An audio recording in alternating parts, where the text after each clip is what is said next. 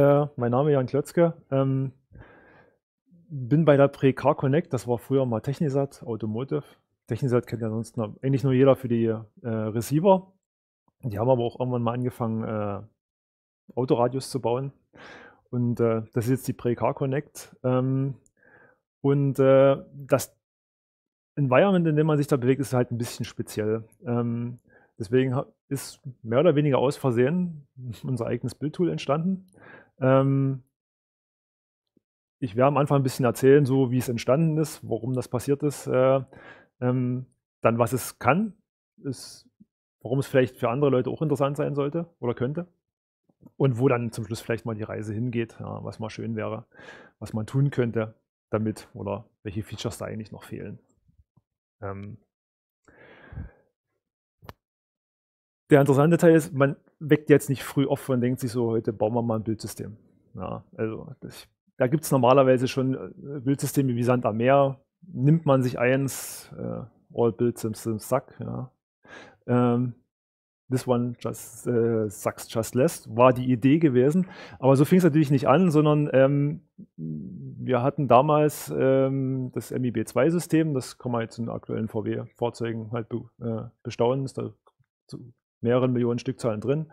Ähm, damit waren wir praktisch fertig. Dann kamen halt ein paar Vorentwicklungsprojekte, so kleinere Sachen, ähm, wo man halt immer das Problem hatte, man hat ein paar C++-Module, die müssen irgendwie zusammenpassen, ähm, ein paar, ein bisschen Open-Source-Software, ähm, was man auch irgendwie zusammenbringen muss, meistens ein Linux-BSP ähm, und das Ganze noch mit verschiedenen Prozessorarchitekturen.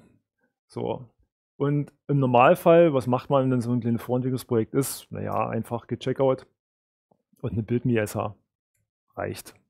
Ähm, und das reicht allerdings nicht so lange, nicht wenn da mehr als zwei Leute dran arbeiten.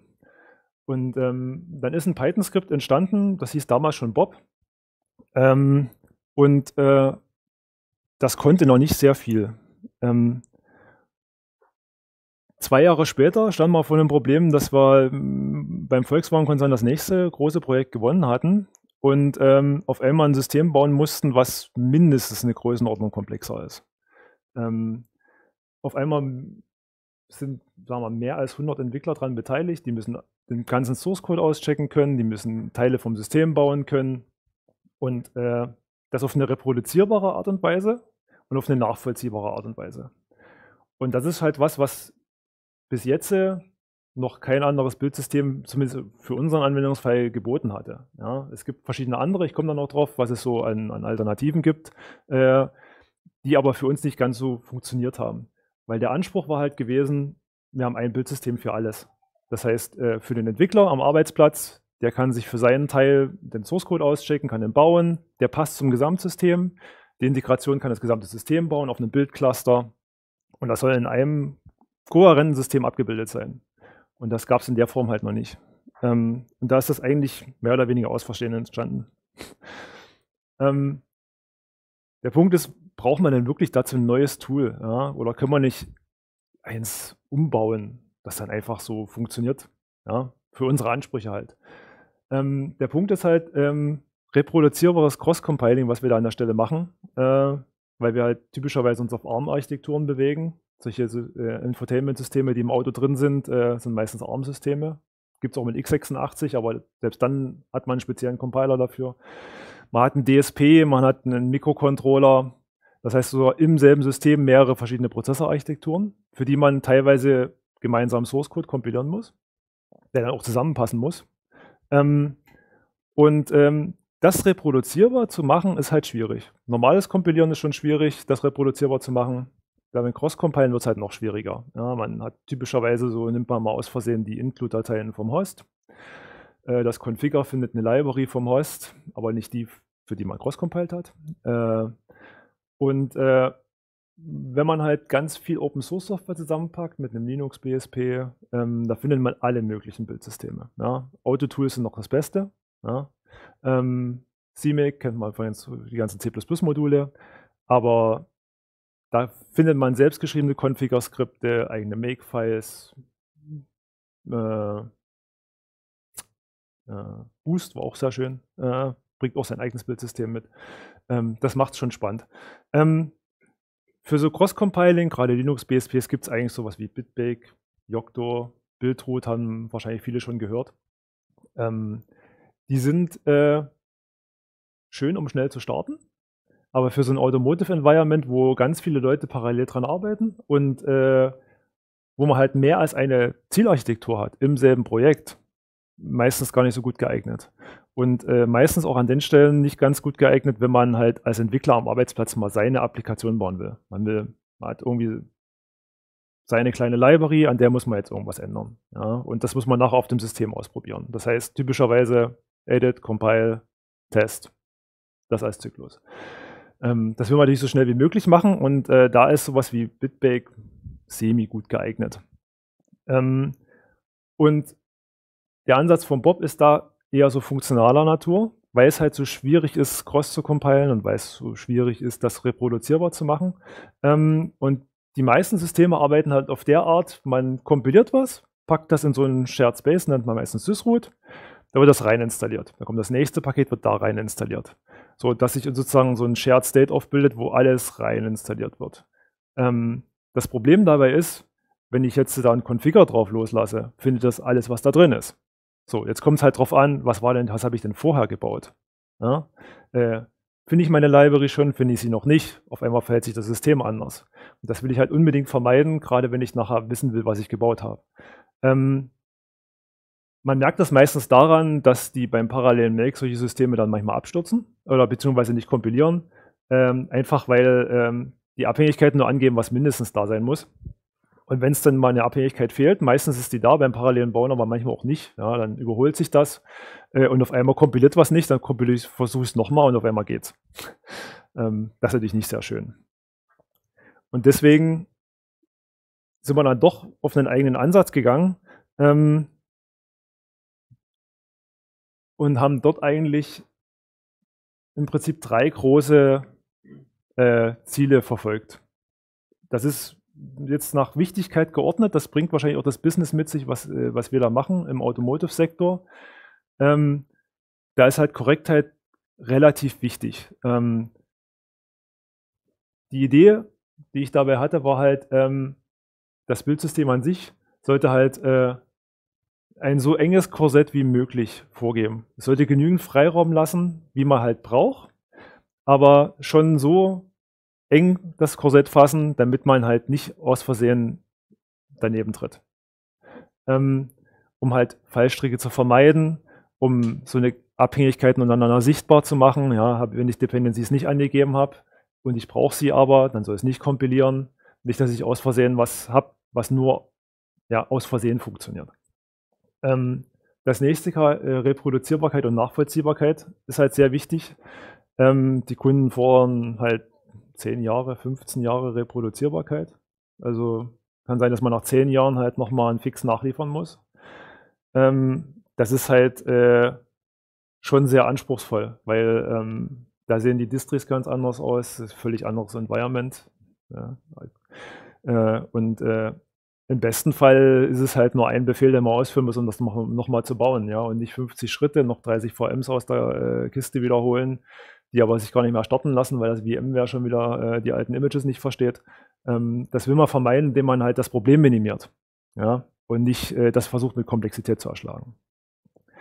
Und das nächste große Ziel ist natürlich Produktivität. Ja. Ähm, wir haben ja das Problem, dass äh, an so einem Infotainment-System, ja, man kann sagen, mehrere hundert Entwickler arbeiten.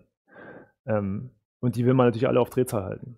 Ja. Da soll niemand seine Zeit damit verbringen, irgendwie das neueste Release zu finden und irgendwie äh, versuchen herauszufinden, wie man jetzt diese Application baut. Das soll halt immer äh, einfach am besten out of the box funktionieren. Wenn das halt nicht funktioniert, ist es blöd. Ähm, am besten wollen wir äh, Continuous Integration machen, ist eine heikle Geschichte im Automotive-Sektor, weil meistens die Kunden eher so die Idee haben, äh, sie wissen ganz genau, was da äh, ins Release reingehen soll und was nicht. Es kollidiert dann meistens so mit den Erwartungen, was der Kunde hat und was man eigentlich als Entwickler typischerweise haben will. Ähm, aber das ganz Wichtige ist halt äh, beim Entwickler soll das der typische Edit Compile Test Cycle, der soll schnell sein. Ja. Ähm, auch wenn ich das gesamte System betrachte. Ich will meinen Teil bearbeiten, in dem gesamten System, will das auf dem Target austauschen können, ausprobieren, fertig. Ähm, und im besten Fall unterstützt man noch IDEs. ähm, das äh, trägt dann doch öfters zu etwas der äh, Produktivität bei. Ähm, das ist schon so eine gewisse Reihenfolge. Also die Produktivität ist wichtig, aber Korrektheit und Reproduzierbarkeit sind halt doch wichtiger. Ja. Ähm, wie das gelöst ist, kommt man später drauf. Der Bob versucht das halt mit so ein bisschen mit verschiedenen Modi, wie man arbeiten kann, abzubilden. Ähm, aber die Beschreibung an sich sollte korrekt sein immer. Ähm, mal ein Zitat an der Stelle. Ähm, was ich sehr, sehr schön fand äh, und was meine Erfahrung mit, ganzen, mit den ganzen Bildsystemen halt ist. Ähm, typischerweise werden da Features nach Feature nach Feature äh, dazugepackt. Und ähm, was ganz nett ist, aber das Problem vergrößert. Und wenn man so ein komplexes äh, Embedded-System baut, wie wir das halt bei Pre tun, ähm, dann merkt man halt ganz schnell, dass Komplexität an, an der Stelle der, der Feind ist, dass der das Projekt killen kann ähm, nicht fehlende Features an der Stelle. Weil je komplexer das Problem wird, umso schwieriger wird es, Probleme zu finden. Und man sollte versuchen, bei größeren Projekten diese Komplexität a priori zu vermeiden. Ähm, schon am besten in der Struktur, in der man arbeitet, damit man hinten raus nicht die Fehler finden muss, die, die da in dem Wust verursacht wurden. Ähm, das war so ein bisschen mein Leitgedanke, wie der Bob entwickelt wurde ähm, muss ich sagen. Ähm, Features wurden da, immer, wurden da eigentlich nur sehr sparsam hinzugefügt und äh, meistens ist die Idee, äh, dass alles, was da drin ist, Sinn macht. Ja? Dass man nicht irgendwie äh, gewisse Sachen nur auf eine Art kombinieren kann, sondern dass Features orthogonal zueinander sind äh, und dass man äh, nicht überrascht wird von dem Tool. Wird man natürlich trotzdem, aber äh, selbst wenn man einfach startet, komplex hinten raus wird es von allein. Ja, das äh, Problem ergibt sich immer. Ja, jetzt zum eigentlichen Tool. Ähm, das war so ein bisschen der, der Prolog, wie es eigentlich dazu gekommen ist, warum braucht man denn wirklich sowas. Ja? Ähm, der Punkt ist, was ist der, was, das Bob-Bild-Tool, was ist es eigentlich? Ähm, ich glaube, der ganz große Unterschied zu anderen Bildsystemen, die auf Paketebene bauen, und was ist das, was der Bob macht? Äh, es ist kein Bildsystem für einzelne Make für einzelne C++-Files. Ja. Dafür haben wir CMake, dafür haben wir jetzt mittlerweile Meson äh, oder auch andere äh, Systeme. Die machen das gut. Ähm, das Problem brauchen wir nicht mehr lösen. Ja. Sondern das Problem entsteht ja, wenn wir mehrere C++-Module haben, die zusammenpacken müssen in einem kohärenten System. Und die Idee von Bob ist, sich da eher so wie Make zu verhalten. Die typischen Paketbausysteme bauen Pakete. Sie bauen Pakete, sie installieren Pakete. Und die Idee von Bob ist, das machen wir wie Make. Ich will ein Paket bauen. Ja, ich will was ändern, ich baue es nochmal. Make again. Ähm, und um das zu tun, ähm, ist der Ansatz äh, erstmal deklarativer Art. Also man schreibt keinen Code. Äh, man schreibt schon Skripte, aber in dem Rahmen, wo man nur Abhängigkeiten definiert, welche Informationen braucht das Paket, äh, welche Tools werden benötigt wo kommen die her, aber nicht, wie es getan wird. Ähm, was getan wird, am Ende sind Bash-Skripte, die aufgerufen werden, wo gesagt wird, äh, ja, führ mal Make aus, führ mal Configure aus. Ähm, das kann man dann beliebig komplex noch gestalten, aber an sich äh, der eigentliche Toolrahmen drumherum ist rein deklarativ ähm, und vor allen Dingen funktional. Das heißt, äh, wo andere Bildsysteme normalerweise äh, die Abhängigkeiten nur von Paketen angeben und sagen, okay, das muss ich jetzt zusammen installieren, äh, ist der Ansatz von Bob, äh, man baut jedes Paket in einem eigenen Workspace und das bleibt da auch. Es wird niemals was, selbst wenn ich fünf Abhängigkeiten habe von einem C++-Modul, die werden niemals zusammen kopiert, sondern die bleiben immer separat voneinander. Und ich verweise nur per CMake Find Root Path zum Beispiel auf die anderen Module da können sich die Abhängigkeiten geholt werden, aber sie bleiben immer separiert voneinander. Und ich habe einen strengen Abhängigkeitsgraphen, der mir immer angibt, wo was herkommt. Wenn ich eine Abhängigkeit nicht angegeben habe, sehe ich sie nicht. Ähm, das ist so das Beispiel mal in der Mitte, warum man das eigentlich so ziemlich für, für, alle, äh, für alle Sachen, die man da in so einem, äh, in so einem System halt vorfindet, wenn man so ein Embedded-System baut, äh, eigentlich hat. Also wenn man eine Applikation baut, führt man einen Compiler drauf aus und holt, man holt sich Source Code, das ist ein Input, man hat noch ein paar Dependencies als Input, führt eine Transformation aus, Compiler und dann kommt ein Output raus, ja, ein Executable oder noch eine Library, die wiederum Input für was anderes ist. Das geht dann auch weiter, zum Beispiel, wenn man so ein Linux-System hat, hat man typischerweise so eine initramfs, von dem das System bootet. Das ist einfach nur ein CPIO-Archiv, wo gewisse Executables drin sind, die ich vorher auf dieselbe Art gebaut habe. Das heißt, auf einer Paketebene ist das Problem schon sehr viel einfacher, wie es zum Beispiel in CMake zu lösen hat. Äh, CMake muss ich mit einzelnen Dateien rumschlagen, Compiler-Flags, ganz verschiedene Arten. Auf der Paketbauebene ist das relativ einfach. Ich habe da ein paar Files, da ein paar Files, da ein paar Files, die als Pakete, das ist der Input, verarbeite ich, kommt ein neuer Output raus. Ähm, und das Ziel von Bob ist im Prinzip alles, was zum Ergebnis beiträgt, zu erfassen. Nicht nur, wo kommt der Source Code her, sondern auch, äh, welche Tools habe ich verwendet. Am besten lege ich meinen Compiler drin ab. Äh, und im besten Fall kann ich noch mein Host-System kontrollieren. Ähm, das ist äh, ein wichtiges Feature von Bob, Bob, die Sandbox, wo die Container-Funktionalität, die unter Linux vorhanden ist, User-Namespaces, äh, äh, genutzt werden, um sogar den das Environment, in dem ich baue, mit zu kontrollieren. Und dieses Environment ist genauso in den Rezepten, die wir gleich sehen werden, mit abgelegt. Sodass ich alles, was in den Bau eingeht, in einem kohärenten System äh, abbilden kann. Ähm, die Grundlage ist halt äh, einfach Bash-Skripte, die ich auf eine kontrollierte Art und Weise ausführe äh, und das halt immer in separaten Verzeichnissen halte damit ich niemals Artefakte miteinander vermische.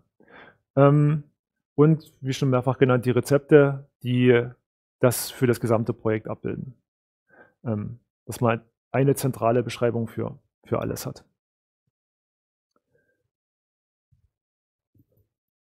Jetzt mal so ein kurzer Einblick, wie, wie so ein Paket eigentlich äh, im Bob gebaut wird. Es sind immer drei Schritte. Das ist sozusagen, äh, andere Bildsysteme bieten da viel mehr Schritte, da kann man neue Schritte definieren. Ähm, das gibt es beim Bob explizit nicht. Äh, weil im Prinzip läuft es immer in drei Schritten ab. Äh, ich brauche erstmal Input. Das ist der Checkout-Step. Äh, der arbeitet in einem Source Workspace. Da kommen die Sourcen rein. Ja, der steht für sich erstmal allein, zumindest im ersten Paket. Ja. Das heißt, ich kann ein oder mehrere Git-Module auschecken, vielleicht lade ich auch ein Tarball runter, apply vielleicht noch ein Patch und dann habe ich meine Sourcen.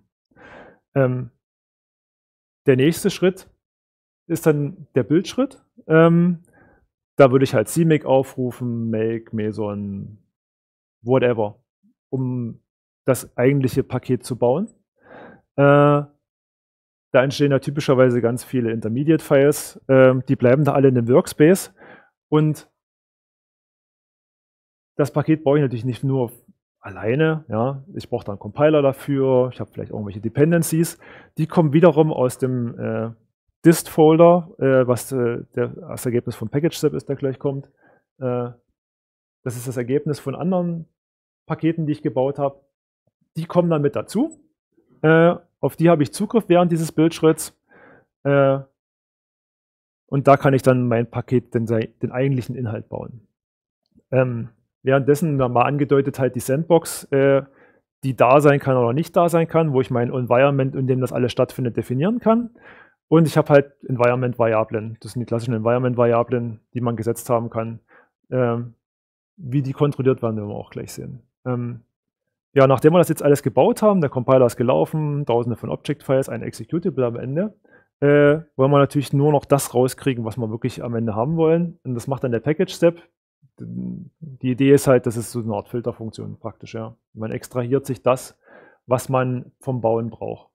Dass es unter Umständen äh, manchmal auch mehrere Package-Steps geben kann, äh, wenn man halt äh, klassische Linux-Distri, man baut ein Develop-Paket, da sind die Header drin, die andere Libraries dann wieder anziehen können.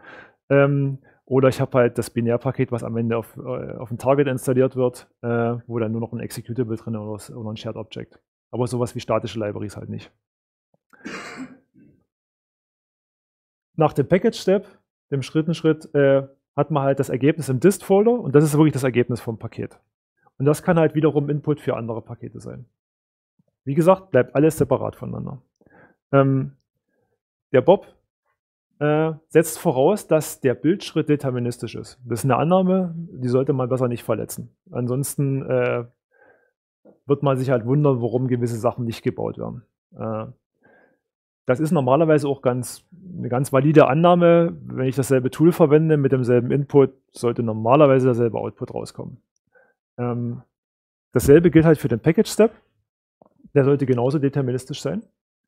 Ähm, und diese Annahmen werden halt vom Bob benutzt, einfach um diesen, dieses Make-Feeling, dass ich halt einfach Pakete nochmal bauen kann, äh, werden halt benutzt, um zu sagen, äh, um, um rauszufinden, naja, muss ich jetzt wirklich dieses Paket nochmal neu bauen? Wenn sich der Input nicht geändert hat, muss ich es nicht neu bauen, ja? weil es ist ja an sich de deterministisch. Das ist zumindest die Idee. Das trifft halt nicht für eine Checkout-Step zu.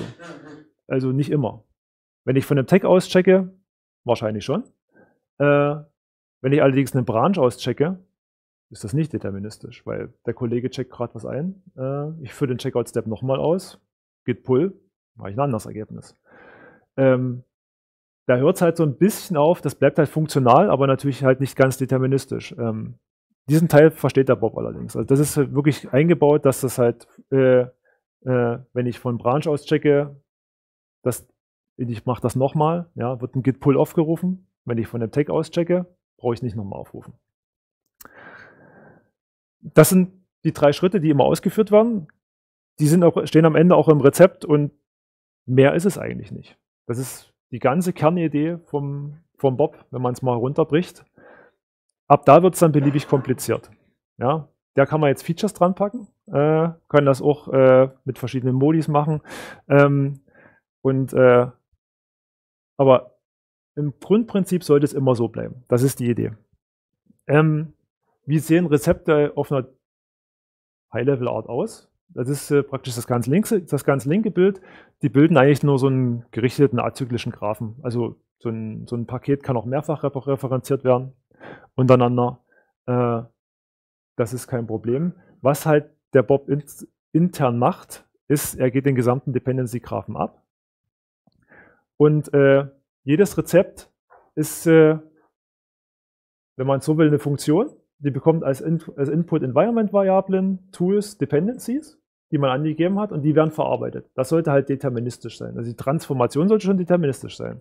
Ähm, der Input muss es nicht sein. Ähm, und an sich kommt ein Result raus. Results sind die Files.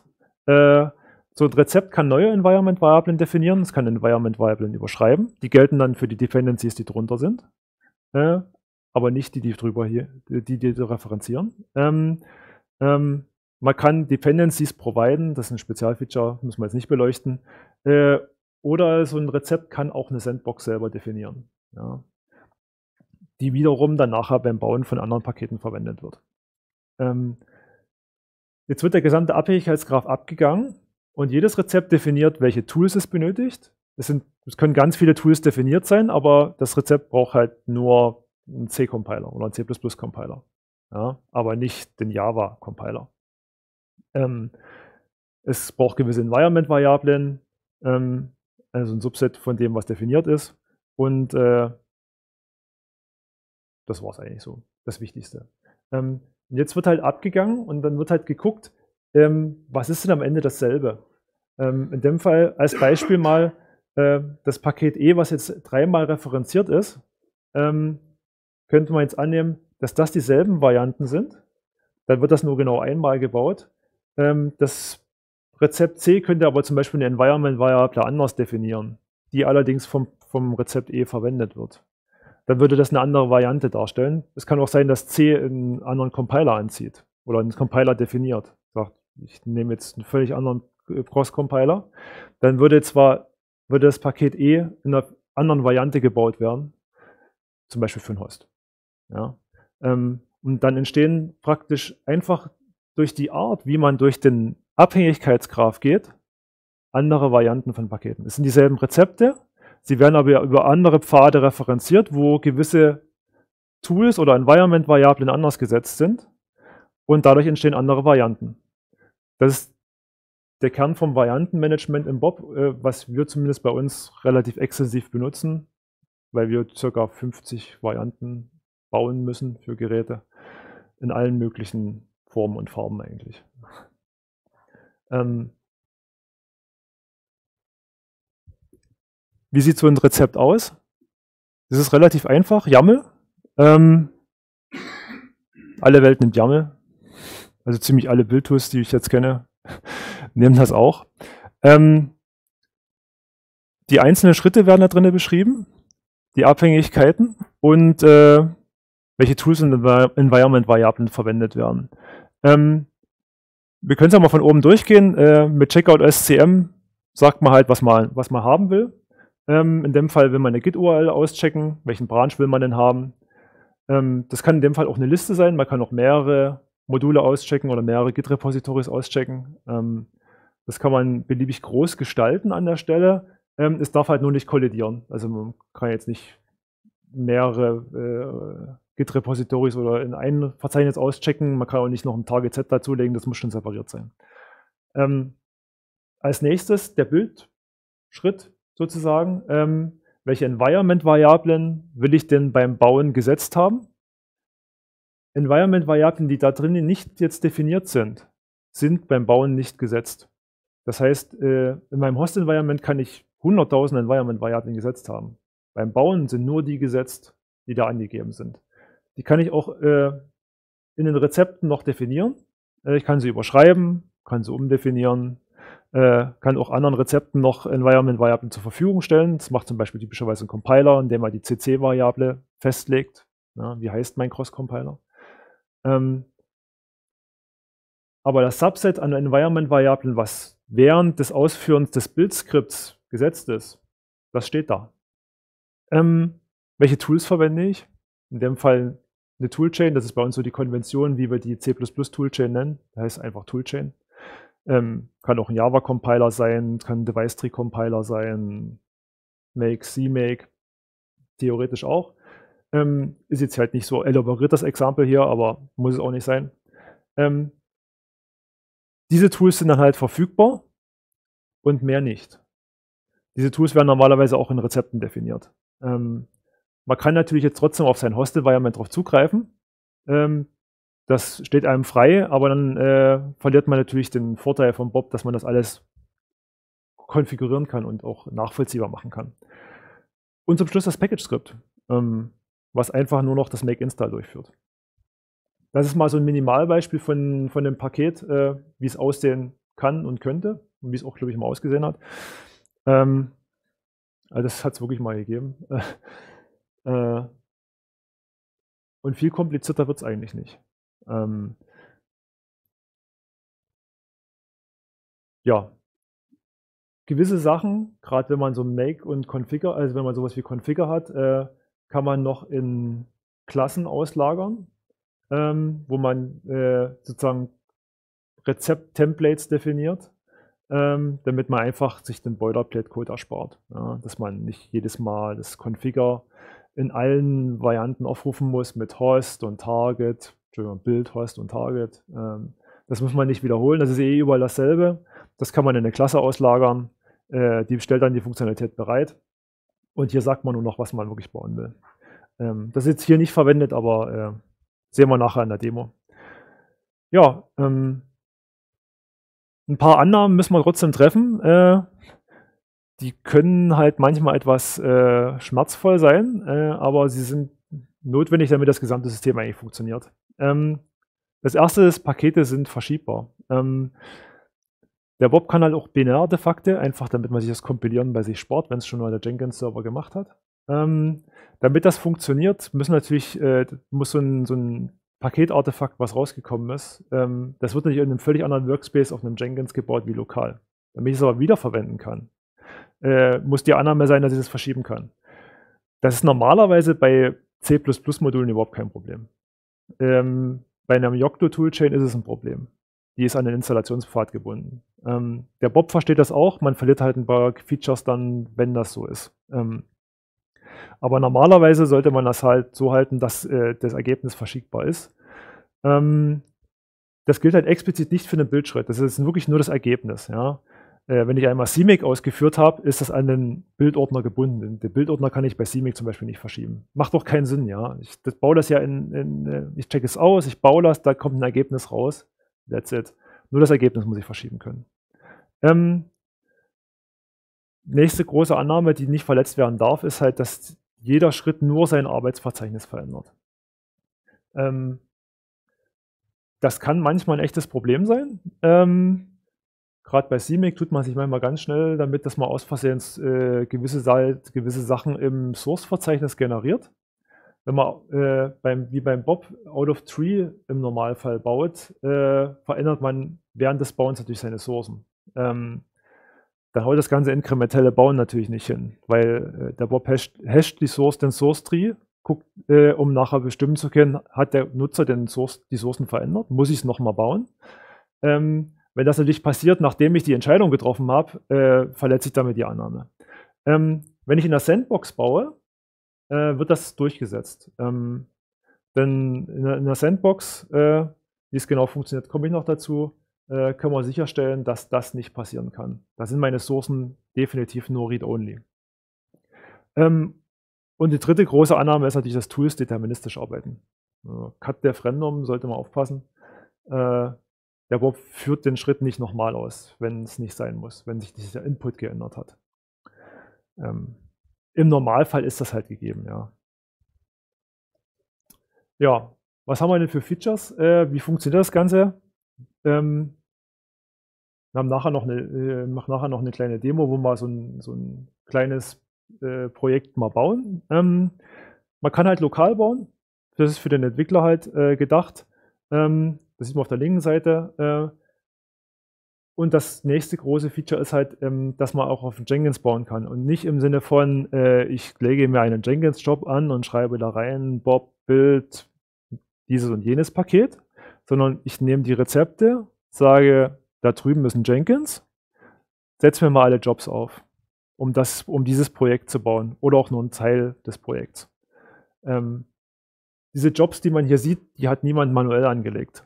Die wurden automatisch erstellt. Und der Inhalt dieser Jobs entspricht genau den Rezepten, wie man sie definiert hat. Wenn man die Rezepte ändert und man pusht nochmal die, äh, die Rezepte auf den Jenkins, werden die Jobs geupdatet und entsprechen genau den, wieder dem Stand, den man da in den Rezepten hat.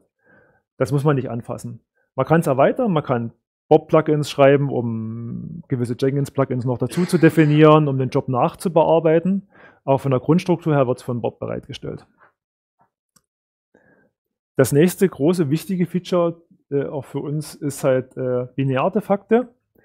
Ähm, wenn man so ein großes Infotainment-System baut, was halt mehrere Gigabytes installiert, äh, macht es meistens wenig Spaß, das manuell zu bauen. Äh, auch wenn man größere Applikationen baut, wenn man jetzt nur einen Teilaspekt davon verändert. Ja. So eine große Applikation besteht auch aus vielen Paketen, ja. viele Libraries, manche Open-Source-Komponenten, die ändern sich ja nicht. Ja.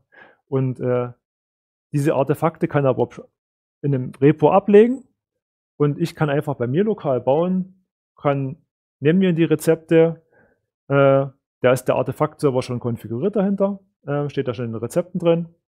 Und alles, was passt, wird runtergeladen, was nicht passt, wird gebaut. Ähm, das geht dann halt so weit, dass ich halt die, die Quellen ändern kann. Äh, wenn ich den Quellcode ändere, passt das Artefakt nicht mehr, dann würde ich es bauen, mache, ich die Änderung wieder, passt wieder ein Binärartefakt, kann ich es wieder runterladen. Ähm, deswegen ist das eher so als Cache zu betrachten. Das ist jetzt nicht so, wie man sich so ein Debian, Debian Package Repo vorstellen muss, ja? sondern das ist eher äh, wirklich ein Cache. Man hat mal was gebaut und man kann diesen Cache reusen. den kann man zwischen Nutzern reusen.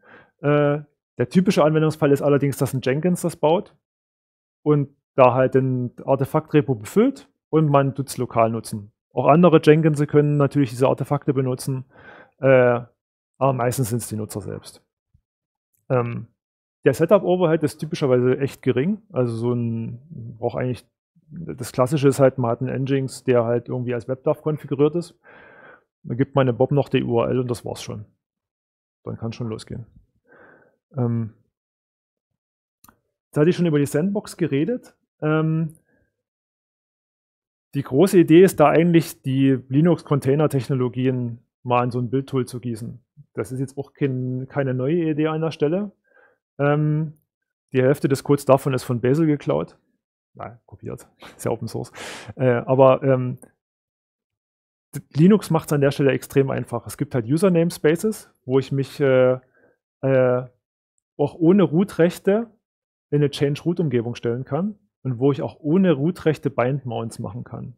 Und ab da ist es extrem simpel. Ja. Ich konfiguriere mir Rezepten einfach in Basis-Image. Das kann ich mit der Bootstrap zum Beispiel selber bauen. Äh, da ist nur das drin, was ich haben will, mehr nicht. Äh, das packe ich in den Target Set und kann das per Checkout SCM in dem Rezept auschecken und als Sandbox im Bob zur Verfügung stellen. Ab da ist die Sandbox konfiguriert und wenn ich sie nutzen will, wird das einfach als Basis-Image genommen. Dann werden die, für wenn ich ein Paket baue, wird der Workspace read-writable gemountet. Alle Abhängigkeiten werden read-only gemountet und der Rest ist gar nicht sichtbar. Dass ich ein ganz kontrolliertes Environment habe, in dem ich jetzt den einen Bildschritt ausführe, da läuft mein Compiler und danach gehe ich zum nächsten Paket. Ähm, das Schöne ist, das ist so leichtgewichtig, das merkt man gar nicht. Ähm, das hat praktisch null Overhead. Ähm, und es stellt mir halt extrem gut sicher, dass ich alle meine Dependencies unter Kontrolle habe und ähm, dass es an sich reproduzierbar ist. Ja. Kann man immer noch viel falsch machen, man kann immer noch unterstrich, unterstrich Date in seinen äh, Source Code schreiben, dann ist es nicht reproduzierbar, binär zumindest, aber vom Inhalt halt meistens schon. Äh, und das nächste Wichtige ist halt zum Beispiel so ein Configure-Skript äh, wird sich in so einem Environment immer gleich verhalten. Ähm, ja, nutzt Standardtechnologien. Ähm, wie gesagt, man merkt es eigentlich gar nicht. Das nächste Schöne ist halt, wenn man das nutzt, äh, so ein Jenkins, äh, der braucht halt gar nichts Spezielles an der Stelle. Ähm, man kann sich viele Jenkins-Slaves holen, was, auf was die laufen, ist eigentlich fast egal. Äh, solange da die Sandboxes funktionieren. Ähm, die äh, Voraussetzungen dafür sind relativ minimal. Ähm, und man verwaltet halt sehr effektiv diese Snowflake-Systeme, ja, wo man mal ein Jenkins installiert hat, 30 Plugins, das eine nicht, das andere in der Version. Man baut auf dem Build-Slave, das läuft halt noch auf der alten Debian-Distro, den anderen laufen schon auf der neuen. Und auf einmal verhalten sich Pakete anders, einfach weil sie mit einem neuen Make daherkommen oder das, das CMake halt geupdatet wurde. Ja.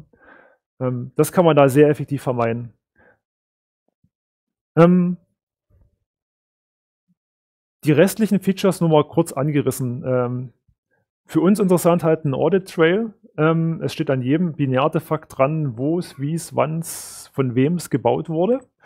Ähm, und wenn ich nachher das gesamte System gebaut habe, habe ich da einen Audit Trail über alle Bauten. Das kann über den Jenkins sein, auch wenn jemand lokal gebaut hat. Äh, das wird über die gesamte Bildkette hinweg erfasst. Und ich weiß, kann nachher reingucken, ähm, dieses Git-Repo, war das dirty, in welcher Version habe ich es ausgecheckt, was war der Commit, welche Rezepte habe ich verwendet. Ist halt ziemlich cool, wenn man Nightlies baut äh, oder Continuous baut, kann man nachher am Artefakt selbst sehen, wie es denn gebaut wurde. Ähm, da muss man nicht mehr rätseln am Ende. Ähm, wir haben IDE-Support, Qt Creator Eclipse, äh, kann man auch erweitern. Es gibt eine Plugin-Schnittstelle dafür, wo man, das an, wo man noch weitere IDs anbinden muss. Man muss sich halt diese äh, IDE-Files generieren einfach. Ähm, man kann den Paketgraph visualisieren. Äh, dort ist eher ungeeignet. Also zumindest, wenn man mehr als 10 Pakete hat. Und 10 Pakete hat man noch im, äh, im Kopf. Äh, ab 20 wird es unübersichtlich. Äh, D3 ist halt mit HTML äh, kann man äh, schön im Browser reinzoomen, klicken äh, und das auch äh, auf den Teilbereich beschränken, den man sich angucken will. Äh, das macht es schon sehr viel zugänglicher. Ähm, ein weiter unterschätztes Feature ist eine Paket-Query-Language. Ähm, wenn man sich jetzt vorstellt, man hat, äh, so wie wir das bei uns haben, so 1000 Pakete, 1000 Rezepte, ähm, die einen etwas größeren Graphen bilden, äh, wo auch noch unterschiedlichste Varianten von den Paketen entstehen, äh, je nachdem, für welche Zielplattform ich baue. Baue ich für ein Host, fürs Target, für welche Art von Target. Ähm, kann ich über den Paketpfad, den ich angebe, wenn ich bauen will, ähm, kann ich mit fast beliebigen äh, äh, abfragen, äh, das Paket selektieren. Ich kann mit Wildcards arbeiten, ich kann sagen, baue mir Pakete, die Abhängigkeiten zu diesen Paketen haben oder die dieses Git-Repo auschecken oder wenn ich es erfasst hat in meinen Rezepten, äh, die GPL sind. Ähm, das ist so eine XPath-like Syntax, äh, ziemlich mächtig. Ähm, SCMs, Git, SVN, CVS, URL ist in dem Fall kein echtes SCM, weil wird nichts wirklich verwaltet, aber das ist das Klassische, wie man halt an, äh, an Open Source rankommt. Ja, man lädt einfach ein Target Set runter und packt das. That's it. Ähm, es gibt, wie gesagt, eine Plugin-Schnittstelle, kann man gewisse Sachen erweitern. Es geht nicht alles. Ähm, da, wo es Use Cases gab, gibt es eine Plugin-Schnittstelle, kann man aber erweitern. Also da bin ich extrem offen, was man da tun kann.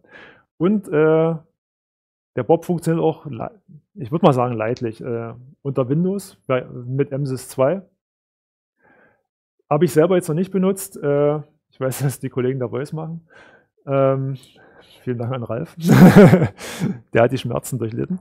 Ähm, ja, das funktioniert da auch. Das Problem ist halt eher so, die Rezepte sehen dann meistens ein bisschen anders aus. Ja? Wenn man mit Windows-Compilern baut und, äh, und auch auf unter, unter Linux, sieht halt meistens ein bisschen anders aus.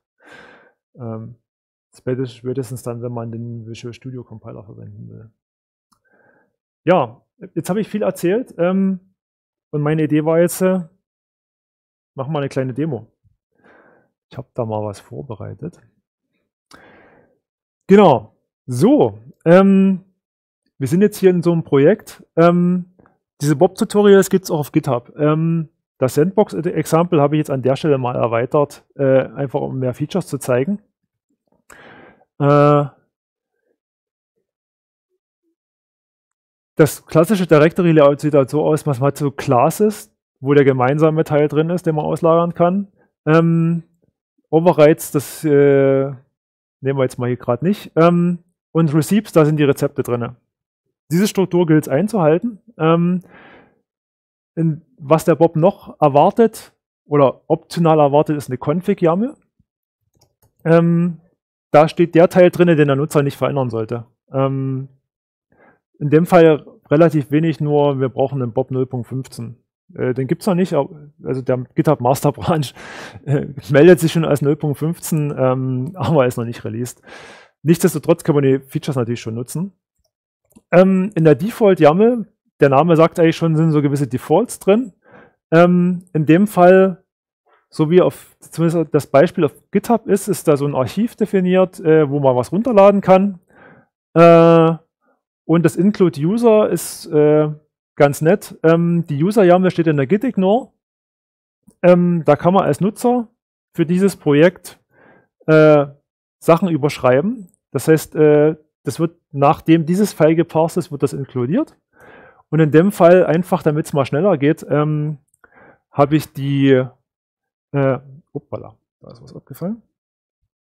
Die, ähm, die URLs überschrieben. Ähm, das ist ein Feature, was man drin hat, die SCM-Overrides ähm, wo man praktisch beliebig die SCMs, die man in den Rezepten definiert hat, ähm, ersetzen kann. Ähm, in dem Fall habe ich einfach einen lokalen Mirror mitgebracht, äh, weil das wusste ich nicht, ob ich jetzt ein Netzwerk habe. Ähm, danach habe ich das Archive äh, überschrieben, da wo die Binärartefakte zu finden sind. Das habe ich jetzt auch lokal umgebogen. Ähm, und damit das funktioniert, äh, habe ich gesagt, in der Sandbox will ich noch folgenden Pfad gemountet haben, damit das halt auch geht. So, mehr ist da eigentlich gar nicht dazu. Ähm, und wenn man dies mal anguckt, es gibt halt Bob LS, ähm, minus R für Recursive, ähm, U ist unsorted, ähm, dann sieht man es halt, in welcher Reihenfolge das in den Rezepten definiert ist. Ähm, in dem Fall haben wir zwei Root-Rezepte. Ähm, da geht sozusagen das, ab, das, das Parsing sozusagen los. Ähm, es gibt halt ein Host-Environment und VExpress steht für Versatile Express. Das ist eine Demo-Plattform von ARM. Die kann man halt auch in QEMO ausführen, deswegen ist es ein gut dankbares Beispiel. Ähm, in dem Fall sieht man halt, man hat ähm, eine, eine, Sandbox definiert, Debian ARM64. Ähm, eine Host-Toolchain, ähm, die ist eigentlich in einem Sandbox-Image oder bei sich selbst natürlich installiert. Da wird eigentlich nur gesagt, ja, wir, wir verwenden hier den GCC. Ja, da steht nicht viel drin. Ähm, CMake, CMake haben wir in dem Fall, äh, habe ich in dem Fall selbst konfiguriert. Das wird äh, als Target-Set runtergeladen. Und hier sieht man schon den Unterschied, ähm, wenn wir für Versatile Express bauen, nehmen wir halt eine andere Toolchain. In dem Fall bauen wir für äh, ARM V7. Ähm, auch mit CMake. Ähm, damit man so ein Linux-System booten kann, braucht man eine initramfs, hatte ich schon mal erzählt. Die initramfs besteht halt äh, aus einem rootfs, da muss eine libc rein ähm, und in dem Fall einer busybox. Ja, und einem Linux-Image. Ja, viel mehr braucht es eigentlich nicht, um so ein, so ein Embedded-System zu booten. Ähm, wir wollen mal nebenbei einen Jenkins starten, ähm, damit ich nämlich ein bisschen, äh, während das dann kompiliert, schon mal noch was weiter erzählen kann. Ähm, das heißt, wir nutzen jetzt einfach mal einen Jenkins, der jetzt nebenbei läuft. Moment, da könnte man eigentlich hier mal als Beispiel.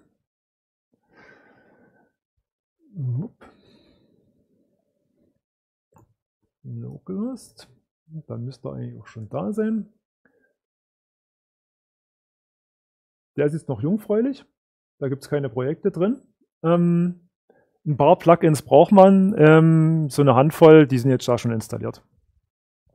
Ähm, genau, da wollte ich hin. Ähm, um so ein Jenkins zu benutzen, äh, habe ich das Kommando Bob Jenkins. Ach verdammt, der ist schon. Den gab es schon. So, äh, den legen wir jetzt aber nochmal an. Äh, mit Bob Jenkins Add kann ich sagen, ähm, wo habe ich denn einen Jenkins und wie will ich ihn nennen? In dem Fall nenne ich ihn mal wieder local. Ähm,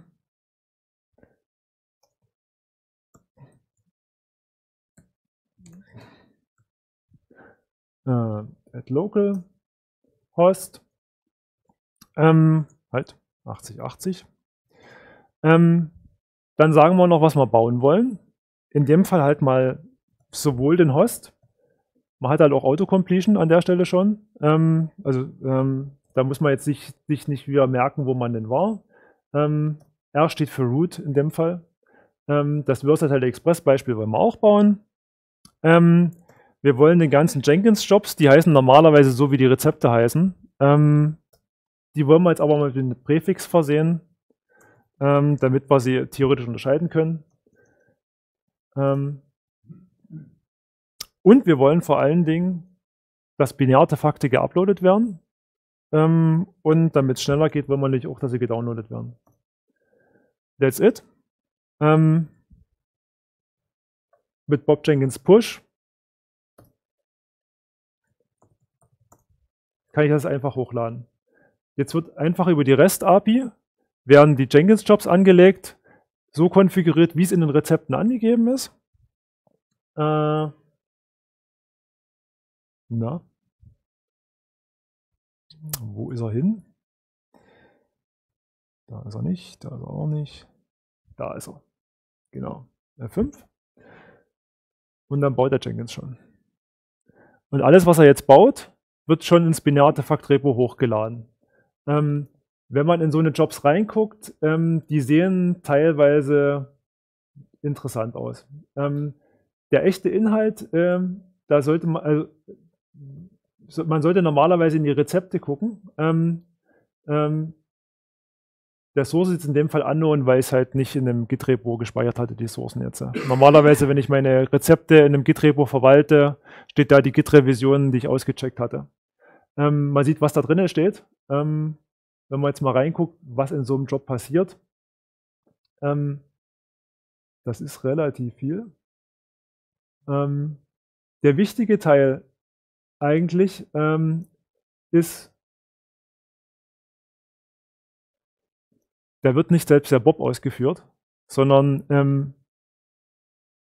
das, was beim Bauen gemacht werden soll, steht da wirklich als Shell-Skript drin. Das wird aus den Rezepten genommen. Da gibt es natürlich noch ein bisschen Garnierung ringsrum. In dem Fall ist das halt das ganze Sandboxing, was man hier sieht. Ähm, aber das wird direkt auf dem Jenkins ausgeführt. Ähm, genau, so langsam sollte der auch fertig sein. Ähm, sodass, wenn ich jetzt mal wieder lokal hingehe, ähm, und mal lokal bauen will, sollte das jetzt relativ zügig gehen. Ähm, es gibt zwei Modi.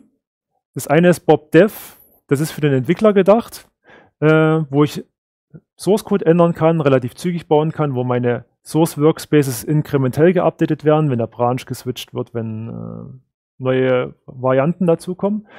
Es gibt noch den Modus Bob Build. Ähm, der ist gedacht eher für den Integrator, der sicher gehen will, dass wirklich das Korrekte gebaut wird. Da wird immer clean gebaut, nicht inkrementell. Ähm, wann immer sich was ändert, wird ein frischer Workspace genommen. Es werden keine Workspaces reused. Wenn sich die Sourcen ändern, Workspace weg, alles neu auschecken. Ist als Entwickler doof. Wenn ich als Integrator sicher gehen will, dass alles richtig gebaut wird, schon wichtig. Ähm, in dem Fall bauen wir es einfach mal wir bauen mal das äh, V-Express. Und jetzt haben wir gerade ein Linux-Image gebaut. Gebaut haben wir es natürlich nicht wirklich, das hat gerade der Jenkins getan. Das haben wir jetzt einfach runtergeladen. In dem Fall, äh, na, wo ist meine Maus? Da ist sie. Wenn man da jetzt mal reingeht, das Ergebnis ist halt so ein, eine QEMO-Image, was man ausführen kann. Startet QEMO. Das ist gerade ein Kernel, den wir gerade gebaut haben und gerade auch in, äh, in BusyBox, was dazu passt. Ähm, der interessante Teil fängt jetzt eigentlich an, was, wenn man jetzt mal was hinzufügen will an der Stelle. Ähm, ich habe da mal was vorbereitet. Ähm, so ein einfaches C++ äh, in dem Fall so ein 2048 Game. Das ist relativ einfach, wird mit CMake gebaut, äh, gibt es einfach als äh, mit ein, mit ein, äh, ohne weitere Dependencies. Ähm,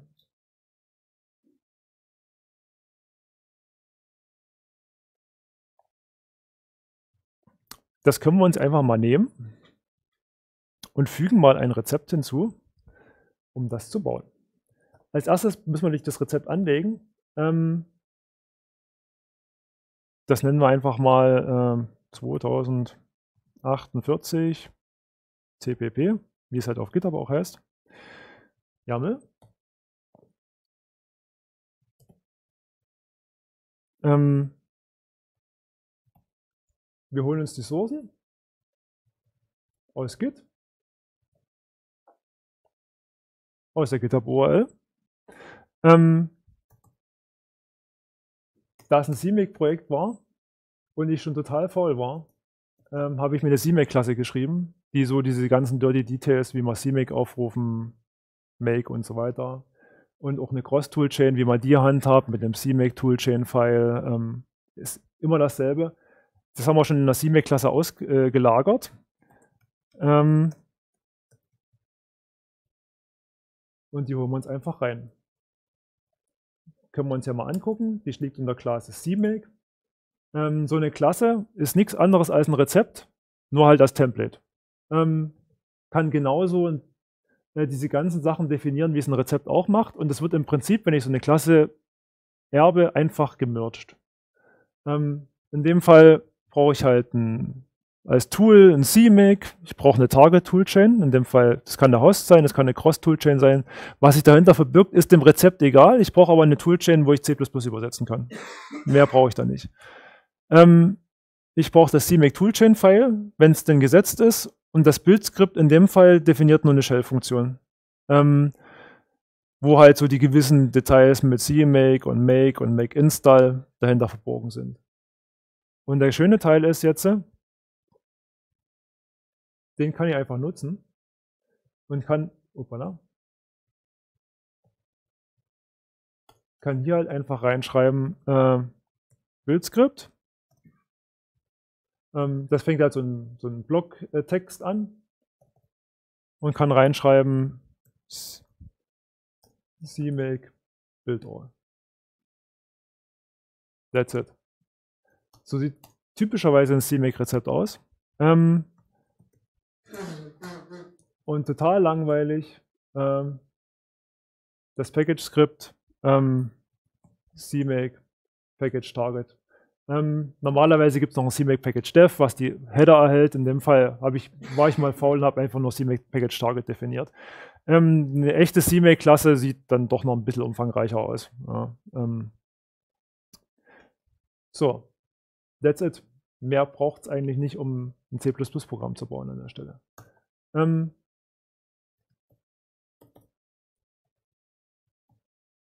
ja, wir sehen es noch nicht. Der Punkt ist, äh, in Bob fängt das Parsing immer in den Root-Rezepten an. Und nur was in Abhängigkeiten definiert ist, ist auch baubar, weil nur über den Abhängigkeitspfad wird sozusagen festgelegt, äh, wie es denn gebaut werden kann. Wo sind denn Tools definiert? Ähm, welche Environment-Variablen sind gesetzt? Und deswegen müssen wir an der Stelle erstmal noch das äh, neue Rezept eintragen, damit wir es auch bauen können. Ähm, das ist das Host-Rezept. Das definiert bis jetzt nur, welche Sandbox verwendet werden kann, Toolchains, die wir so haben. Und jetzt nehmen wir einfach mal das mit dazu.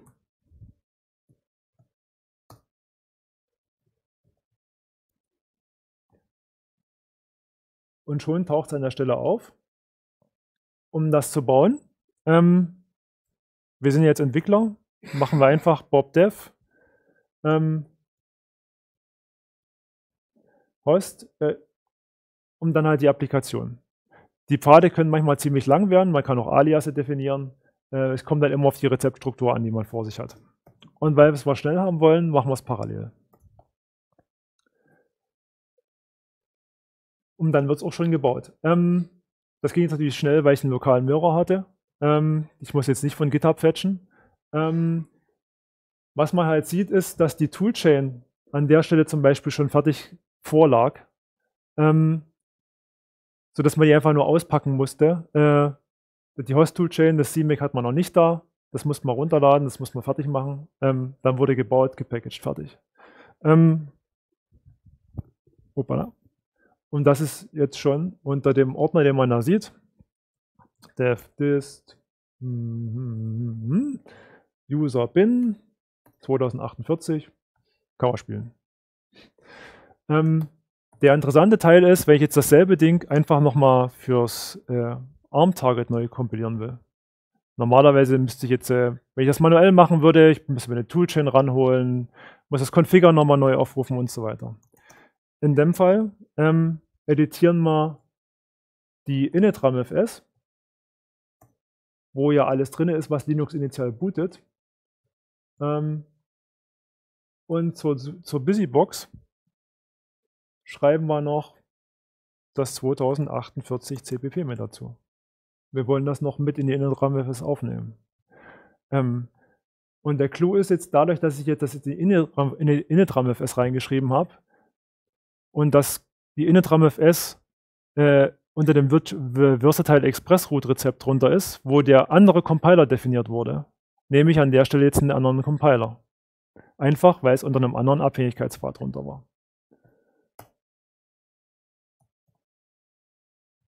Jetzt können wir das V-Express einfach nochmal neu bauen. Und jetzt beginnt der interessante Teil eigentlich, ähm, dass jetzt, obwohl ich jetzt lokal baue, das Linux-Image trotzdem einfach runtergeladen wird, weil daran haben wir ja nichts geändert. Das passt immer noch. Äh, die Splizzy-Box passt genauso noch. Ähm, allerdings das 2048, das muss ich natürlich neu bauen. Danach muss ich eine neue Innentramme-Fest zusammenpacken ähm, und das Ergebnis-Image bauen. Und jetzt habe ich zum Schluss hoppala, in dem Ordner Versatile Express Workspace. Wieder die Randpunkt.sh, die wir ganz am Anfang schon mal gebaut hatten. in der ich jetzt 2048 drin finde. In dem Rezept selbst, wie gesagt, hat man nichts davon gesehen. Äh, das war einfach nur, unter welche Abhängigkeit ich das drunter geschrieben habe. So, was wollte ich noch erzählen? Genau. Ähm, witzig wird es jetzt halt, wenn ich es nochmal bauen will. Ähm, ich habe jetzt am ersten Schritt noch nichts geändert. Sag, baue das nochmal neu. Das waren jetzt natürlich wenig Sourcen, äh, aber ich habe nichts geändert, ich muss nichts bauen. Ähm, Im Bob ist es vollständig erlaubt, ähm, obwohl es jetzt Pakete und ein Paketbausystem ist, dass ich die Sourcen ändere, beliebig. Ähm, die liegen halt immer unter dev source, ähm, Paketname, Workspace, ähm, Source. Jetzt muss ich nochmal genau gucken. Was wir jetzt. Können jetzt mal den Spaß erlauben, einfach mal einen Error einzubauen. Jetzt hat der Bob festgestellt, ich habe die Sourcen geändert, ich muss das Paket nochmal neu bauen. Ähm, und das ist der typische Edit-Compile-Cycle, wie man ihn als Entwickler normalerweise vorfindet. Ähm, das machen wir jetzt natürlich nochmal rückgängig.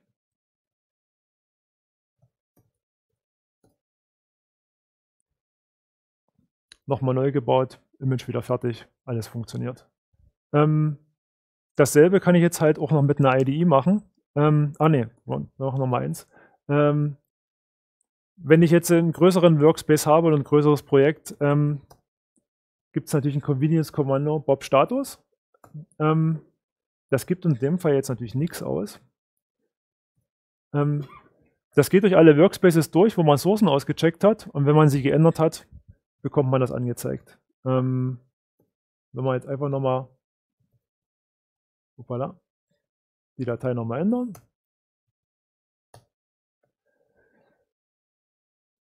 Sieht man halt, diesen Workspace hat man geändert. Was hat man geändert? Ähm, das funktioniert auch bei extrem großen Workspaces ziemlich fluffig. Ähm, so verliert man eigentlich nie den Überblick, woran man gerade gearbeitet hat. Ob man noch vergessen hat, irgendwelche Sourcen einzuchecken, äh, kann man relativ schnell rausfinden.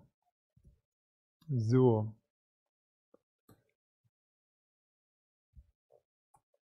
Als Schmanker haben wir noch äh, den IDE-Support. Ähm, das gibt es mit Core Project. Ähm, in dem Fall zwei, äh, zwei verschiedene sind voreingestellt. Core Project, Qt Creator. Ähm, kann man jetzt halt in Projektfile anlegen und die IDE aufmachen. Ähm, man muss noch sagen, welches äh, System man haben will. In dem Fall bauen wir mal den Host. Wird ein Projektfile erstellt. Ähm, und vor allen Dingen wird das Projekt einmal durchgebaut. Wenn ich in der IDE bin, ähm, ähm, unter Projects liegt, liegt, jetzt hier diese Host.creator. Ähm, das ist auf dem falschen Workspace aufgegangen. Ähm, wird halt das Projekt importiert. Man sieht, ähm, in dem Fall die Sourcen von dem Teil, äh, Teil des Projekts, der ihn, der ihn interessieren. Wenn das Projekt noch viel größer ist, ähm, die anderen Sourcen sieht man halt nicht. Also wirklich nur an dem Teilbereich, an dem man arbeiten will. Ähm, das können wir jetzt auch einfach ausführen. Da wird das gebaut. Ähm, es lässt sich halt leider etwas schlecht bedienen in der Konsole hier unten. Da sieht man normalerweise nur Output. Aber das Executable läuft wirklich. Ähm, das wird vom Bob automatisch aufgesammelt. Ähm, zumindest wenn man für einen Host baut, äh, wird das automatisch in die Qt Creator Files schon importiert. Ist relativ schick, wenn man äh, zum Beispiel Unit-Tests ausführt. Gerade wenn man cross-compiled, man cross-compiled fürs Target, probiert das da aus. Und denselben Source-Code kann man einfach über einen anderen Abhängigkeitspfad äh, auch im Qt Creator, das die Unit-Tests ausführen, kann sie da debuggen, ähm, ändern und auch wieder neu bauen. Ähm, genau. Und wenn wir jetzt, da kommen, weil wir jetzt gerade noch ein neues Rezept hinzugefügt haben, ähm, können wir es doch einfach dem Jenkins auch nochmal bauen lassen. Und was man jetzt halt sieht, es wird jetzt halt der Host neu konfiguriert, neues, die neue, äh, äh, das neue Paket angelegt.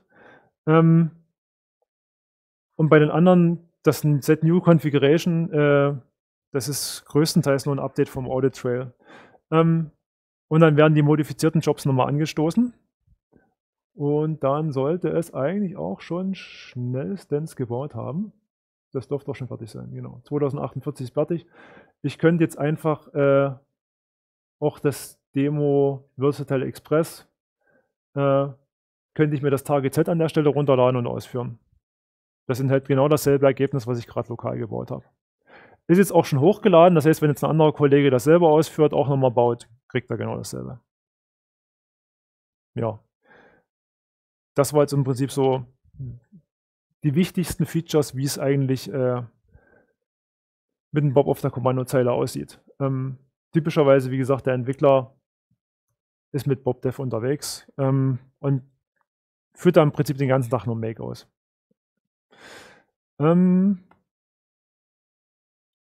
so, wir machen weiter eine Präsi von da. Genau. Grundsätzliche Designentscheidung, was man jetzt vielleicht äh, nicht so gesehen hat. Ähm,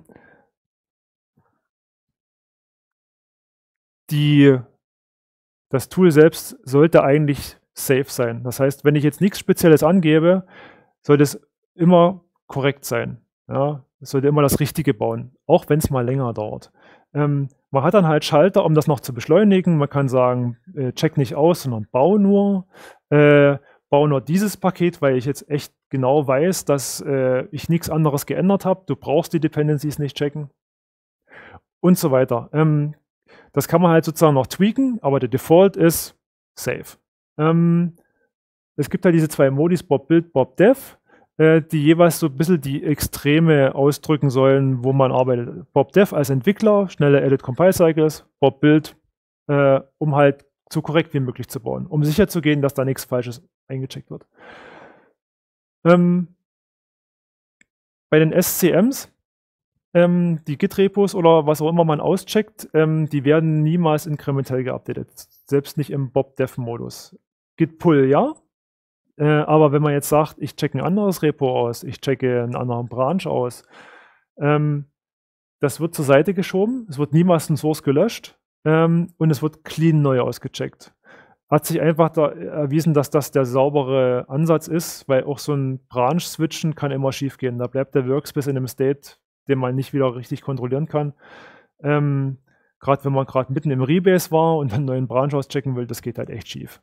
Ähm, und der Jenkins, äh, wie wir äh, gesehen haben, der führt selbst den Bob nicht aus, sondern Bob konfiguriert einen Jenkins, setzt die Jobs auf, tut die Shell-Steps einfügen, was ausgeführt werden soll. Ähm, und gebaut wird analog zum Release-Mode, also mit Safe Defaults. Wir bauen Clean normalerweise. Ähm, und so weiter. Und wir wollen halt keine Features duplizieren, die Jenkins schon hat. Also der Git-Checkout, dafür wird das Git-Plugin genommen. Einfach damit man auch, wenn die Jobs durchlaufen, damit man die History-Log hat. Ähm, das wäre halt alles verloren, wenn ich Git-Clone selbst ausführen würde. Welche Grenzen hat das Tool? Ähm, es ist halt nicht für jeden geeignet. Ähm, das Business, was wir halt haben, ist relativ speziell ähm, mit diesen großen Embedded-Systemen. Ähm, wenn man jetzt halt äh, sein Maven gewohnt ist, äh, wo man halt dynamisch Dependencies resolved, äh, dafür ist der Bob nichts. Ähm, der ist so explizit dafür nicht gedacht. Äh, der Ansatz von Bob ist wirklich, man hat ein Projekt und die gesamte Projektkonfiguration hat man in den Rezepten. Da ist es drin, das kann sich jeder angucken, das kann jeder verstehen. Äh, und äh, da ist keine Dynamik drin. Ja? Es ist nicht so, dass ich das inkrementell parse. Jetzt heute finde ich die lib in der Version 13, die dependent auf eine, irgendeine andere lib, die Major Version 15 haben soll. Aber welche meiner Version ist mir egal, weil dann kriege ich morgen ein anderes Ergebnis. Ähm, das nächste ist, der Bob selbst ist halt, obwohl er relativ schnell ist und Make-ähnlich arbeitet, äh, für Pakete gedacht. Ähm, da führe ich ein CMake drin aus oder ein Meson. Ähm, aber ich baue keine individuellen Source-Files. Und äh, die Granularität, die man da drin abbildet, äh, sollte auch so ähnlich sein. Also wirklich so ein Paket, so ein Rezept sollte irgendwas sein, woran man konsistent arbeitet, was irgendwie zusammengehört, was eine Kohärenz hat. Ja.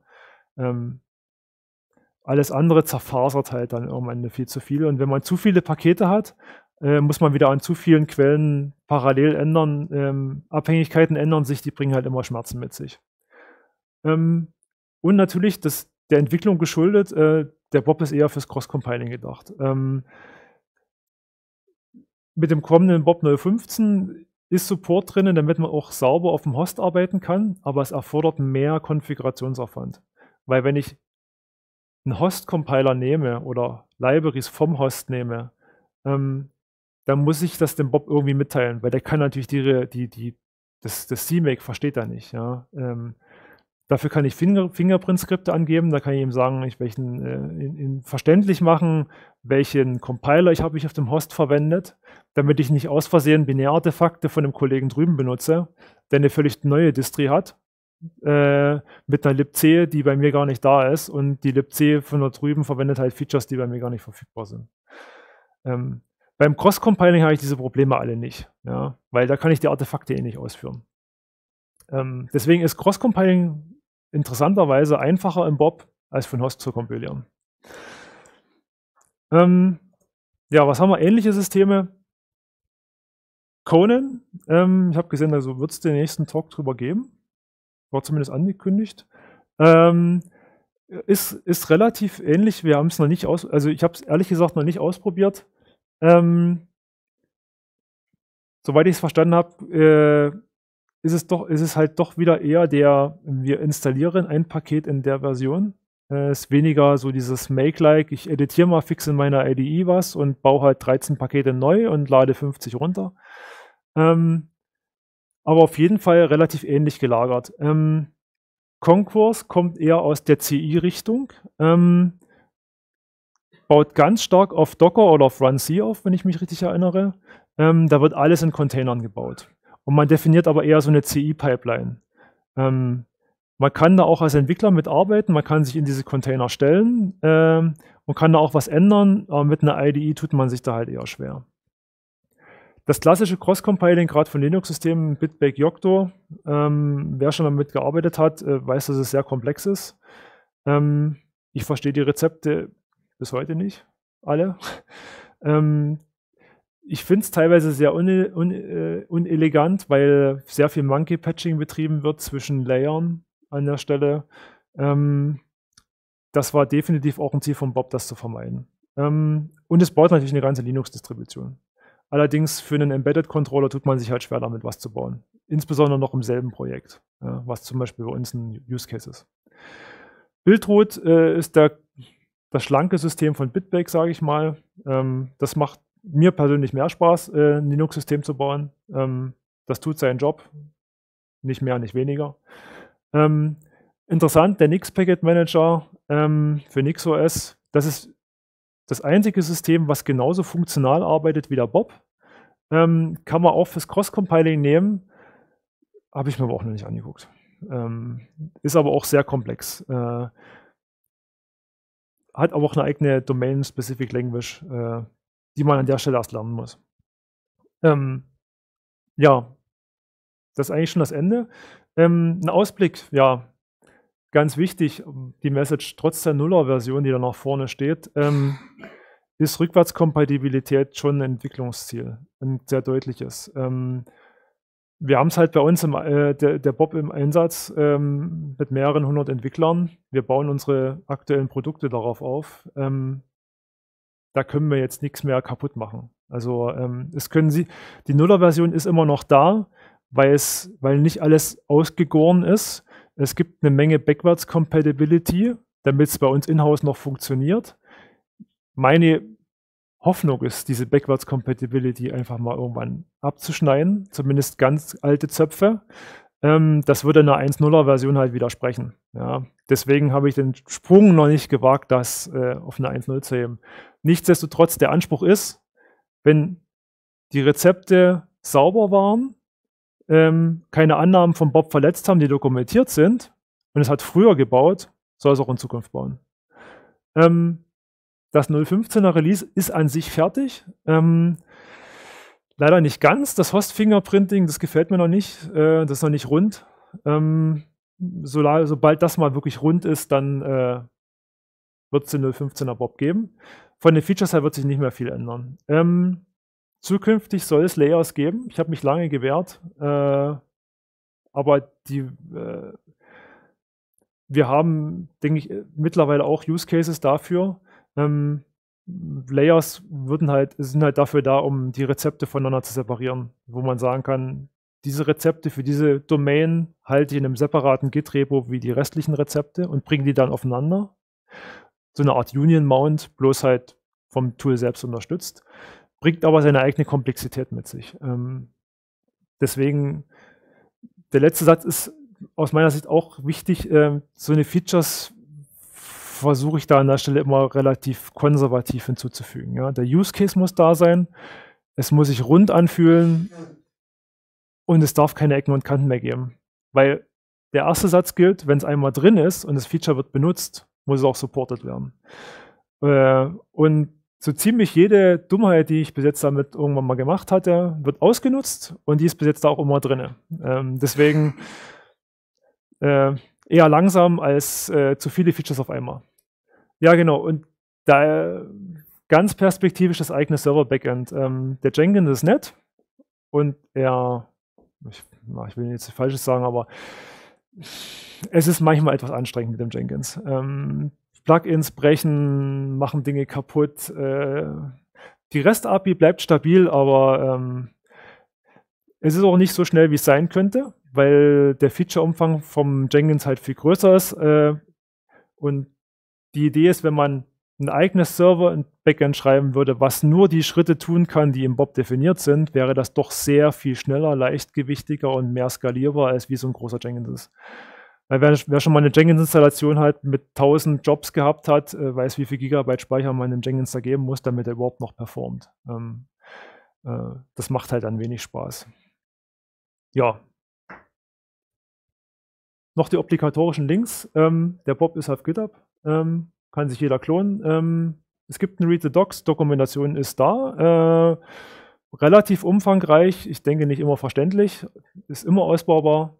Ähm, der Anspruch ist schon, dass alle Features, die drin sind, schon beschrieben sind. Es gibt auch Man-Pages, äh, die, äh, die sind von unterschiedlicher Qualität, aber alle Optionen sollten drin aufgeführt sein. Und es gibt eine Mailingliste mit extrem wenig Volume. Aber zumindest die Releases werden da announced. Ja. Dann war's das an der Stelle.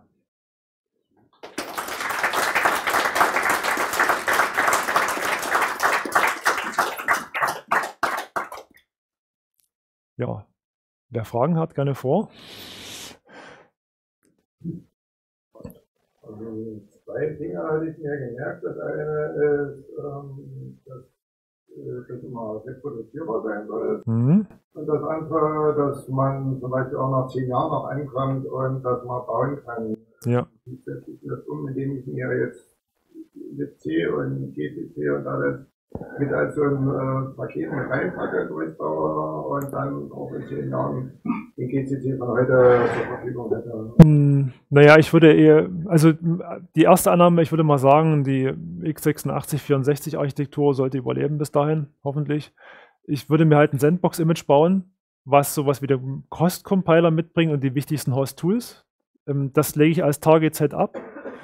Ähm, und ich kann von diesem Sandbox-Image starten. Ähm, die einzige Annahme, die ich wirklich treffen muss, ist, ah, ich brauche noch einen Linux-Kernel, auf dem der Bob noch laufen wird und zumindest das Python, mit dem ich den Bob ausführen kann, das, äh, das muss ich mir irgendwo mit aufheben. Das geht leider nicht. Äh, man hätte ihn noch in C schreiben können, aber das ist leider zu spät. Ähm, wenn die zwei Annahmen da sind und ich mir das Sandbox-Image abgelegt habe, danach ist es, denke ich, reproduzierbar gibt immer noch Unabwägbarkeiten, weil man ist natürlich immer noch von dem Linux-Kernel abhängig, auf dem man läuft. Aber da hat der Linux ja versprochen, dass das kompatibel bleibt. Normalerweise legt man sich natürlich dann noch die VMs zur Seite. Ähm, aber das ist das eine, um es wirklich hundertprozentig reproduzierbar zu bauen. Äh, auf der anderen Seite als Entwickler, wenn ich jetzt wirklich nochmal einen Patch machen muss, ja, es ist schön, wenn die, wenn jemand auf seinem Bildserver die äh, alte VM rausholen kann und das da bauen kann. Aber ich als Entwickler muss natürlich auch nach fünf Jahren, was ein realistischer Zeitraum ist, wo ich schon meine Distri dreimal geupgradet habe, immer noch äh, das alte Release bauen können. Ähm, und ich hoffe, dass wir das damit erreichen können. Ja. Ich, realistischerweise wird man den Bob zweimal, dreimal updaten müssen. Ähm, damit er einfach mit einem aktuellen Python läuft. Ähm, Python ist nicht so stabil, leider. Ähm, aber wenn man das Sandbox-Image hat, sollte es eigentlich ab dort funktionieren. Das ist die Wette, sage ich mal. Dieser, dieses Repository äh, verwaltet, in dem das alles als eine Art Cache landet, das würde ja eigentlich immer nur gigantisch wachsen. Ähm, ja und nein. Also erstmal schon. Ähm, ich kann es ja mal kurz zeigen, wie das aussieht. Das ist eigentlich. Irgendwo hatten wir es da drunter abgespeichert, Temprepo. Ähm, das sieht ähnlich aus wie Git, das wird halt so mit internen Hash-Summen abgelegt. Ähm, na, jetzt ist es nur eine Bild-ID. Da liegen jetzt die TRGZs. Es gibt allerdings ein Kommando dafür, Bob Archive. Äh, was die Metainformationen, die dann da drin enthalten sind, parst, wo ich sagen kann, ich möchte behalten alle Releases, ich möchte äh, oder nur spezielle Releases behalten oder ich möchte halt alles, was so Nightlies waren, die von folgendem Branch gebaut wurden, die älter als zwei Wochen sind, möchte ich gelöscht haben. Und so kann ich versuchen, das äh, sauber zu halten der beste Ansatz, wenn man jetzt wirklich nochmal perspektivisch auf Releases geht, ist halt eher so, ich habe einen Artefakt-Server, wo ich Releases drin baue, oder wo ich die Artefakte für Releases rein, reinbaue. Und ich habe so einen Artefakt-Server, wo ich so meine Nightlies und die Continuous Integration Sachen drin baue. Damit ich jetzt einfach voneinander trenne. Es ist völlig okay, wenn ich mehrere Backends habe. Der Bob klappert die dann einfach alle ab und versucht irgendwo ein, in so ein passendes Artefakt zu finden. Also bei uns sind, glaube ich, so eine, so eine Handvoll URLs angegeben, so viele Releases für CIs, äh, eigene Bildserver von den einzelnen Gruppen. Ähm, die werden einfach alle abgeklappert. Wenn da irgendwo was findet, wird das da runtergeladen. Aber Releases und CI würde man normalerweise schon physikalisch voneinander trennen. Aber man kann es auch verwalten.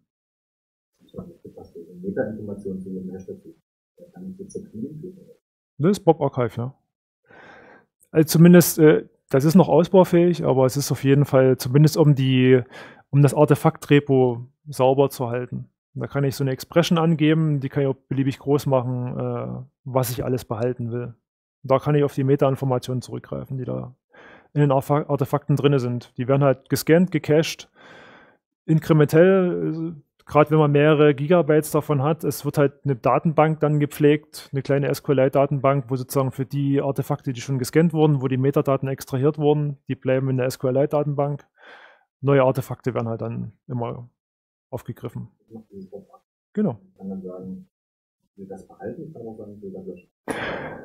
Äh, Im Moment kannst du nur sagen, ich möchte folgendes und jenes behalten und alles andere sollst du löschen.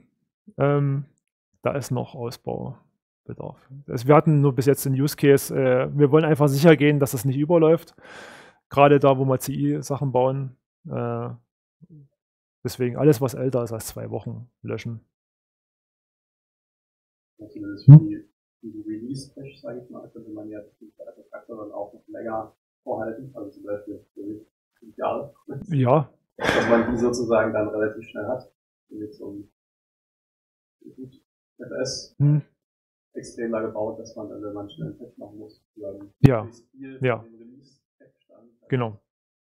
Ja, also der normale Workflow bei uns in der Firma, wenn man jetzt äh, wirklich mal an was arbeitet, man hat ein normales Release drauf auf seinem Gerät, man nimmt sich das Tag der Rezepte von diesem Release, ähm, da wird praktisch alles runtergeladen, bis auf das, was man ändern will. Das geht schon extrem schnell. Also ist relativ fluffig an der Stelle, auch bei größeren Embedded-Systemen. Ja. Eine Frage, die ich stelle, ich hatte das so verstanden, dass Jenkins kein Bob selbst ausführt, sondern quasi nur die, äh, ja, die Funktion für die Bob generiert. Mhm. Ja. Die alle sind das dann konsistent, die Ja. Ja. Nee, der normale Workflow, wenn man das wirklich im, im CI macht, äh, ist dann eigentlich eher, man legt sich einen Seed-Job an, sage ich mal, wo man den Bob wirklich dann drinnen ausführt. Äh, der wird über einen CI-Hook getriggert, wann immer die Rezepte geupdatet wurden ähm, und der führt halt Bob Jenkins Push auf sich selber sozusagen aus. Äh. Ähm, ja und nein. Ähm, der, also es werden natürlich ein paar Helfer im Hintergrund aufgerufen. Ähm, der Hintergrund war da gewesen, ich will A, sowas wie das Git-Plugin wirklich benutzen, damit ich äh, eine, eine Commit-Historie halt sehen kann an den Jobs, wie sie gelaufen sind. Das würde ich komplett verlieren, wenn ich den Bob selbst ausführen würde. Ähm, wenn ich den Bob, naja, weil das die His naja, aber ich will ja, dass der Bob das auscheckt. Also wenn ich normalerweise, wenn ich, wenn ich Bob Bild selbst ausführe, macht er das Checkout ja selbst.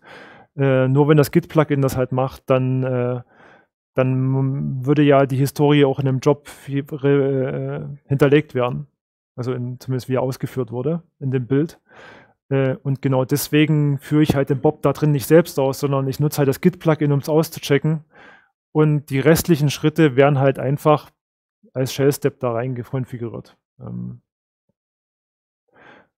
der nächste Grund ist, ich will es halt auch auf einem Bildcluster bauen können. Also wenn, dann müsste ich halt an jedem einzelnen äh, äh, Job, müsste ich auch für dieses eine Paket den Bob ausführen. Das ist machbar, das machen wir teilweise intern auch, ähm, aber dann verlierst du halt die Historie und äh, die Sichtbarkeit an der Stelle so kann es halt auch in den Bob, in, so kann es halt auch in den, in, in, in den Log von dem, von dem äh, da die Shell-Steps halt wirklich selbst drin sind, siehst du ja wirklich, welche, welche Kommandos ausgeführt wurden. Ja, das sind auch die, die du im Rezept findest. Ähm, das heißt, wenn du in den Log von dem Bild reinguckst, findest du sie direkt halt wieder. Ja. Ist halt nicht nochmal ein Layer dazwischen. Ähm, also beide Ansätze sind halt valide. Wir haben jetzt halt den ersteren gewählt. Ja. Ähm, der ist ja damit klar, dass also der mal so Webfile arbeitet dann ständig mit einem Produkt oder was auch immer.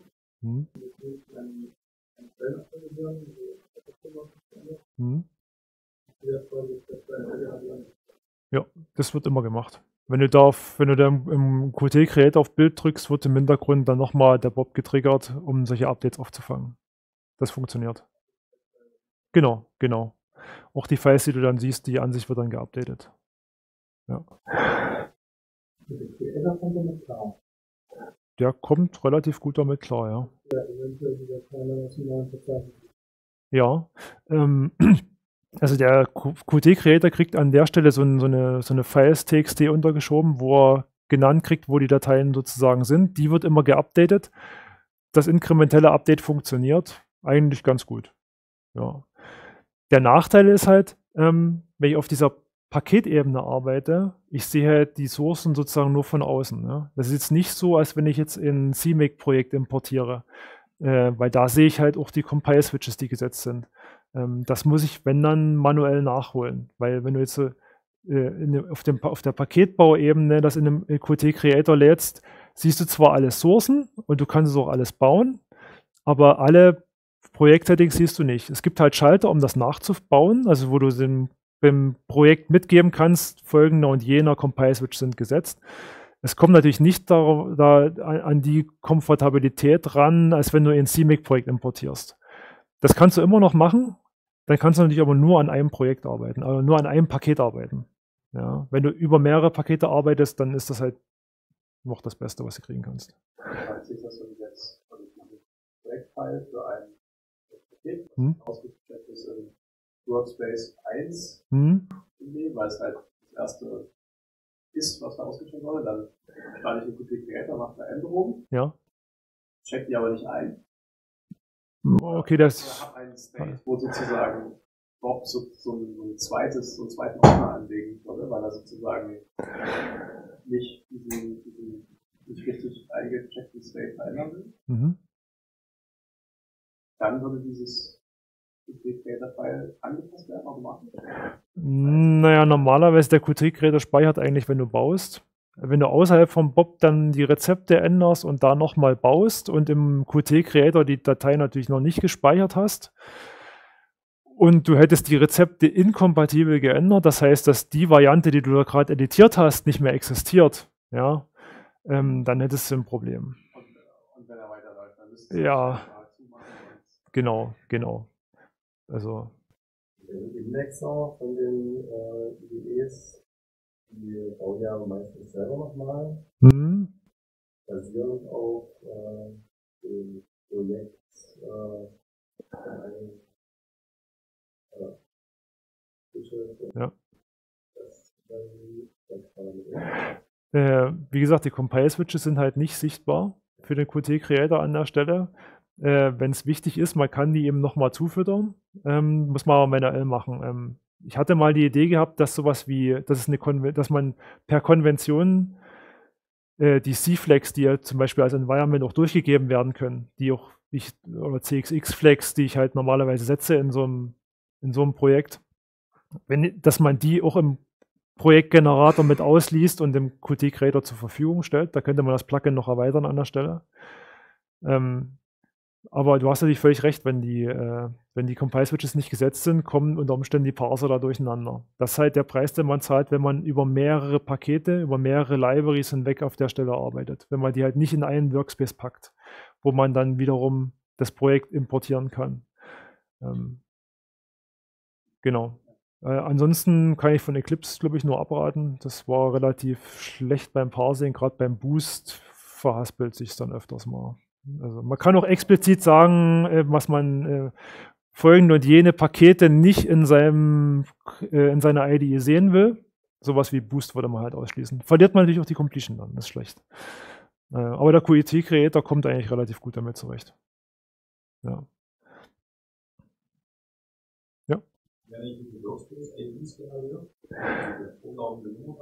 Ähm, das kommt drauf an, je nach Modus, den man verwendet.